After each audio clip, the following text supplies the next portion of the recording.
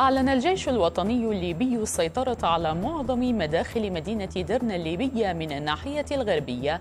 وقال المتحدث باسم القوات الليبية إن الجيش سيطر على منطقة صناعية في درنا وعلى تلال استراتيجية. وأضاف أن أكثر من مئة من قوات ما يسمى مجلس شورى مجاهدي درنا أو قوة حماية درنا قتلوا بينما سلم مئة آخرون أنفسهم.